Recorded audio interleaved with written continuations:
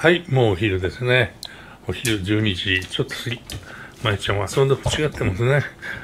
遊ばねえよ。さてさて、何しようかな。これ、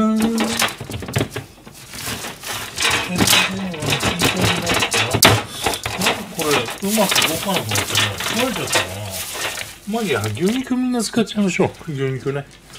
豚肉はこれは後で夜汁に使えばいいね。もう、これ。えー、どうなってんこれ。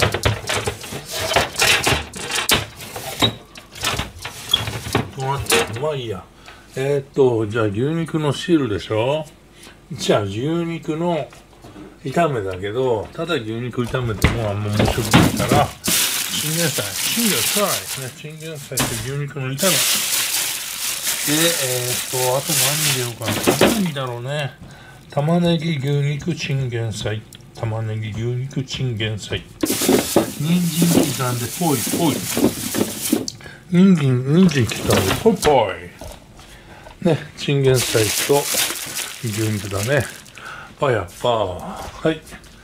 えーと、あと何しようか。なんか、ちょっと、新玉ねぎが入った方がいいよね。すげえな、もうずっと新玉ねぎ使ってるよね。これ半分でいいかな。なんか、えーと、半分でいいのかな。ね、チンゲン菜。ちょっと眩しい。こっちからの光が眩しいから、ちょっと軽く作ろう。俺やっぱ白内障だろうかね。眩しい。まあいいよ。これはじりじりとね、炒めてやって、えっ、ー、と、どうしようかな。チンゲン菜のタとわっと合わせてやるかね。これ玉ねぎはね、最高に美味しいけど、あんまり多いとちょっとね、玉ねぎくんになっちゃうから、ちょっと少なめに今日は作ってやろうか。新玉ねぎって外側がすっごくすぐに悪くなるからね、気をつけないとダメよ。今ちょっと加えましょう。では、穴を。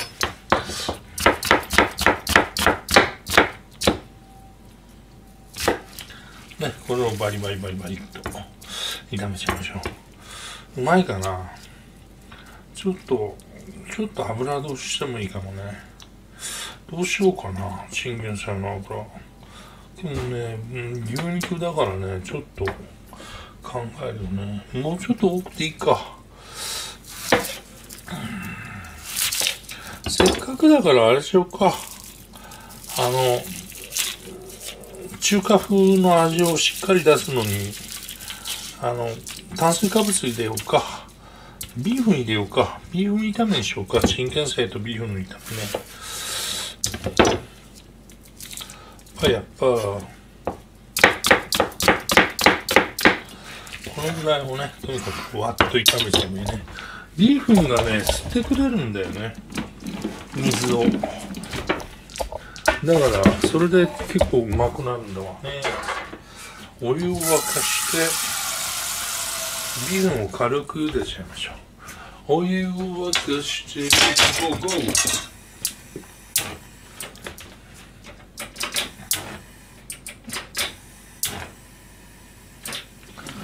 これビーフンですけどね。これね、台湾、台湾ビーフンです。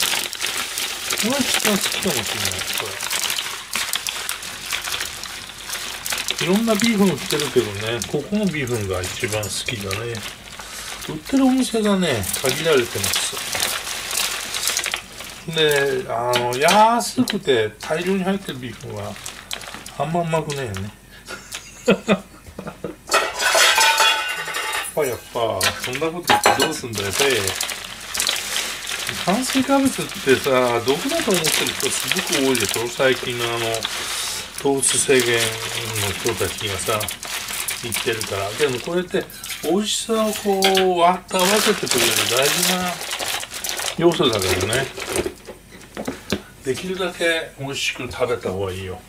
食うもんは。当たり前だのクラッカー。当たり前だのクラッカー。人参でしょ？人参と。人参をジンジンジンジンジンジンジンジン人参ジンジンをえっ、とどうしようかニンニクと一緒にニンニク肉とニンニク肉肉ポポーちょっと変だよ、お前。このぐらいね、結構な量でしょ。よくニンニク、ニンニク一かけとかさ、料理で使ってる人たちいるじゃないそんな少なくて、美味しいとか言いたくなるよね。やっぱこうなんていうの、ニンニク肉肉、ニンニク肉肉、ポポーって言いながら、えー、作らんとダメだよね。ポポーポッポーポポー はい、どうでもいいや。やっぱやっぱ。よいしょ。で、この人たちを、えっ、ー、と、牛肉と一緒にね、こします。こんな感じね。ポー、えポー。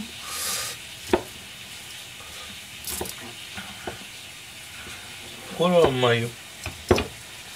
パヤッパー。で、ここにこうね、チュチュチュチュチュチュチュチュチュここに入れてあげましょう。軽く茹でるだけね。あんま長く茹でるとね、もう、デロリンマンになっちゃう。何それ。デロリンマン。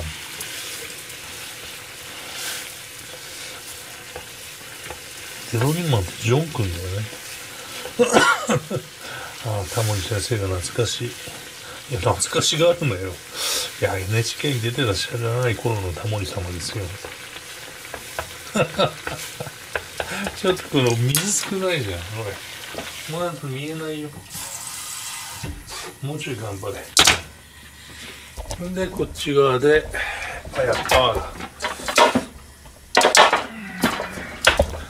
電磁気でパヤッパーのやつがね、ここね、ピッピッと。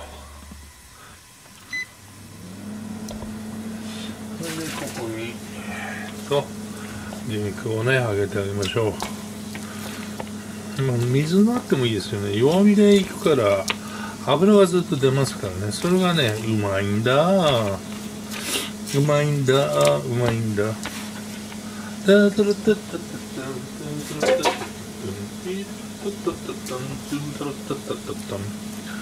カリッとポリッとコリッと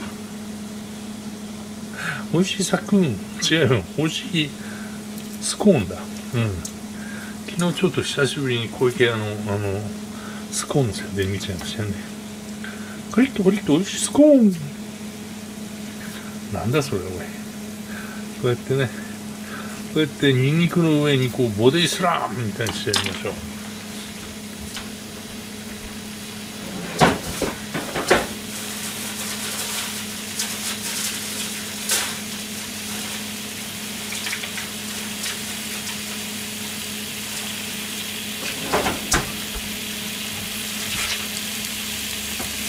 なんかいい感じに見えてきましたのはいこれね。きのこ軍団パやっぱも入りましたね。きのこと。きのここういってきのこ軍団パやっぱも入りましょう。でこっち側を見てやるともういいぐらいだね。あんまりねかダメあれだとダメやけどまあこのぐらいでいいでしょうね。はい。えー、っと一回火止めた方がいいね。よし。ビーフンビーフン焼きビーフン。えー、っとそれこっちだね。下の方からこう蒸してきた。らそれをこう揚げていく。けど今ニンニクにはこう何この牛肉の脂がね、どんどん入り込んでって、入り込んでいくっていうか、蒸されてこう降りてくるからね。で、野菜とか、こういうキノコ類は、水分入ってて焦げないですからね。肉は焦げちゃうけどね。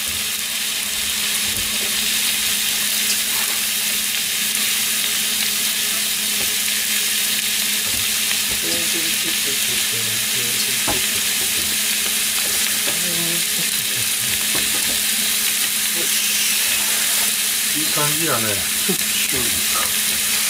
これが入ると心拍が変わるからあの味は味はこう外に出ますよね。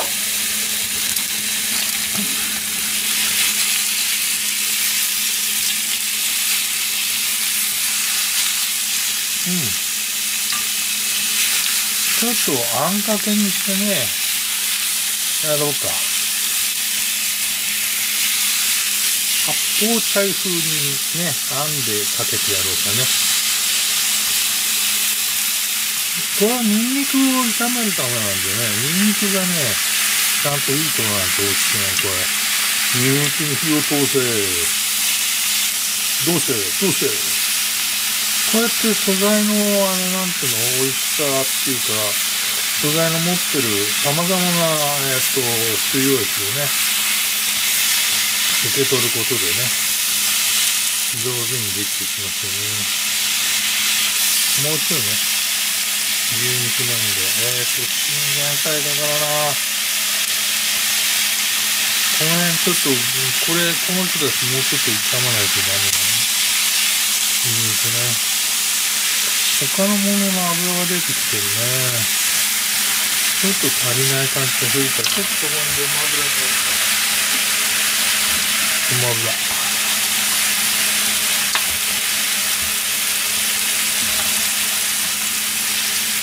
あ、なんかうまそうじゃの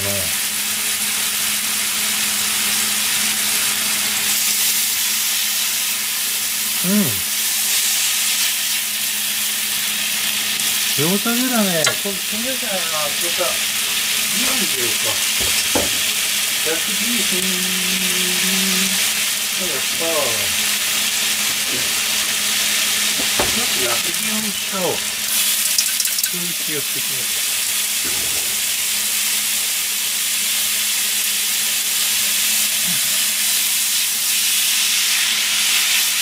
ビーフはね、とにかく旨味を吸ってくれるから、お、うまそうじゃの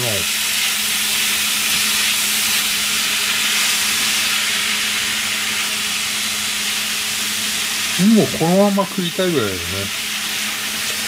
これどうしようかな。シャンタンと、シャンタンと、あ、か、こシャンタンね、シャンタン。これラードのあの、豚のナルトの調味料です。さあさあ、すごい。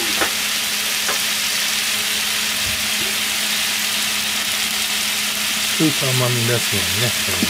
で、鶏肉に切ってくれて、調味料入れて、ちょっとでね、で、えー、っと、入れようかな。はい、酒が入りました。それでゆっくりと味をね入れていきましょうこの人たちうまそうじゃの日本酒が入るとこう味をアップしますいいね。ちょっと濃いぐらいの味ですよね。濃いめの味です。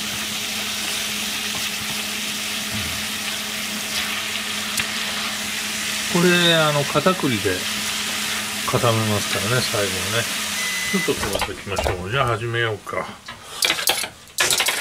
はいやっぱよいしょ。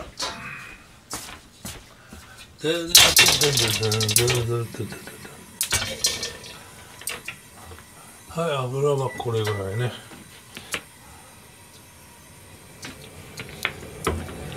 よくよくいけよ。くよくいくようだね。ちょっとこっちもちょっと早くしてくれるんです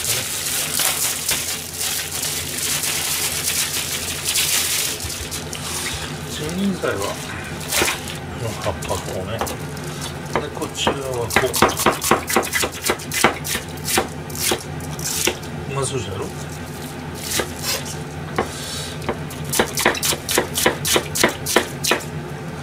アクがすっごく強いですあのそう最初こっちから行くダメよねダメよね。ダメダメ。まあこっちをやってる。でその後でこれですね。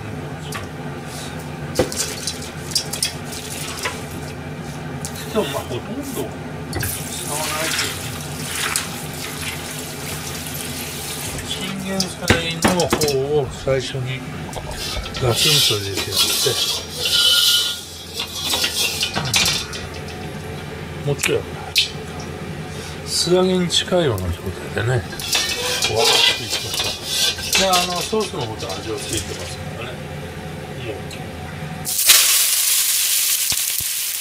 深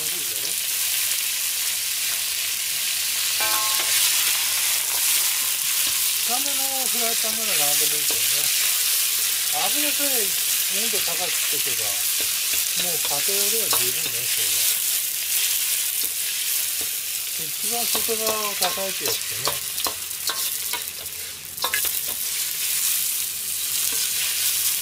それでこうなってきたらもうちょっとね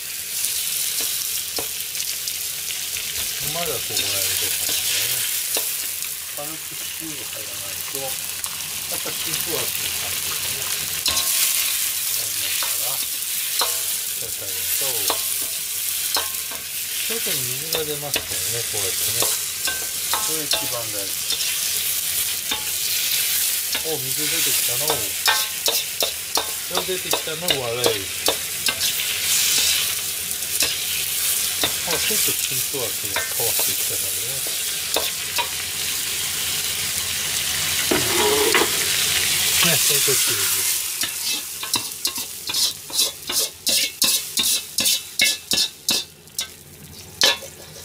ね、こっちにちょっと入ってます。で、残りをまた裏をちょっとまた足して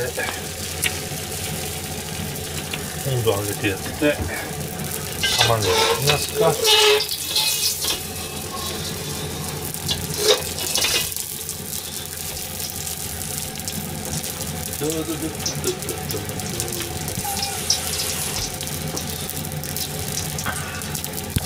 こっちはちょっとねこう早くやるといい感じだよね。まあそうじゃろ？でこっち側は油が多めですからもうちょっと高くて音がちょっと弱い。じゃん音よし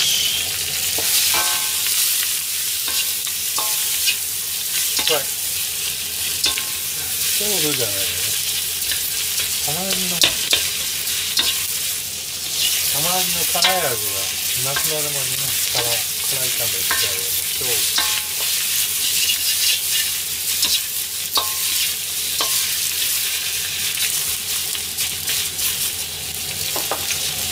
ちょっと塩すると水が出てくるんですねそれからが本番で出る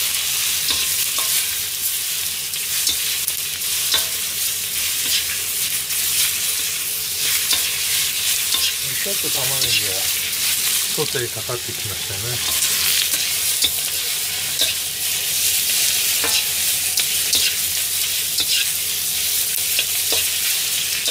家庭で作るだよ。その料理はみんな家庭で作らんとね。まだちょっとたまにの外側がね。あれだね。だんだん良くなってきましたね。早くちょっといい、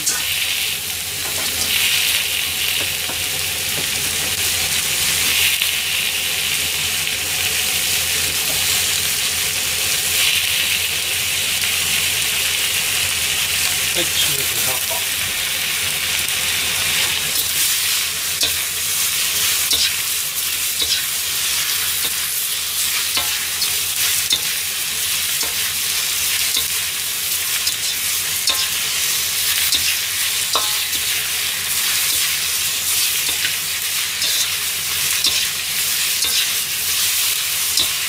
明太の葉っぱがね、だんだんいい感じになってきたところで、こっちの方を入れたろうよなね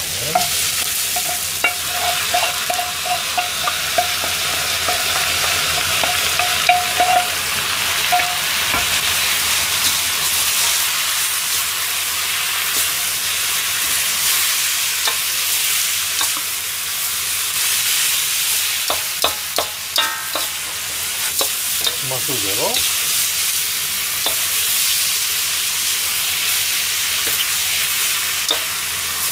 せっかく中華だからな。ソースでやろうかい。ソースあねこれみんな使っちゃったね。ダメだもうちょっと味強くなってもらいたいんですけどね。うんどんなだろうじゃあまずはちょっと。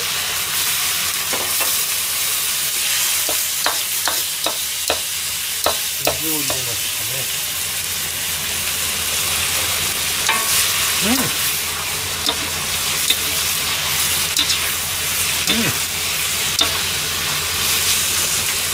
実にあったり味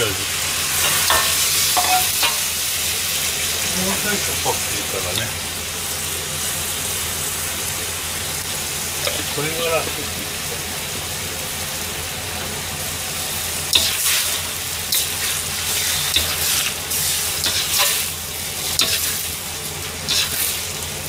入ってない唐辛子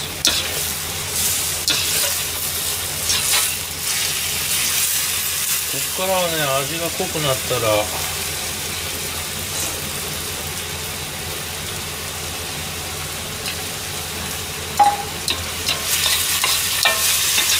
こんなでいいかな。もうちょっと濃くてもいいかな。もうちょっと味濃くてもいいかな。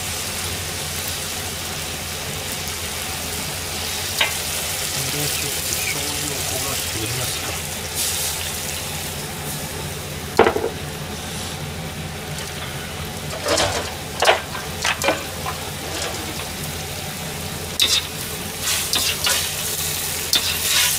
ちょっと醤油が焦げましたけどね。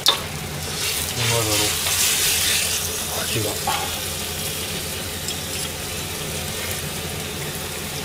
うん。美味しい。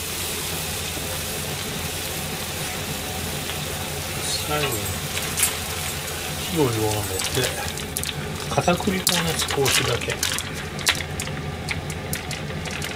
少しだけね。あんまり入れるとガタガタに固まる。からね片栗粉はこうやって。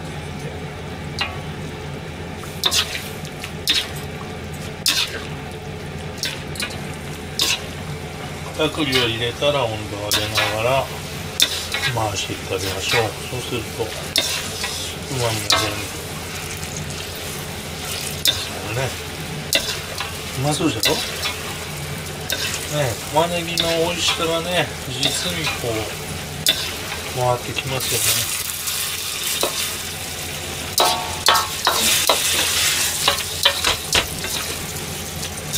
うまそうじゃので出来上がりいいん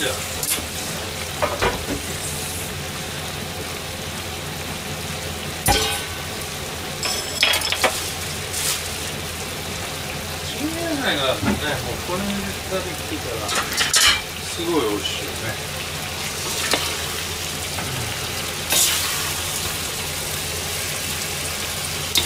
でビーフンがねちょっととろみと合うんだよねこれがね。はいということで美味しいお昼ご飯が出来上がりました。皆さんも美味しく食べようじゃございませんか。もう一個ねここに。残りを入れて。ちょっと入りきらんな。でもこれ大体うちの奥さんと2人でほぼ全部食い終わりますからね。ビーフがねやっぱりなんていうの？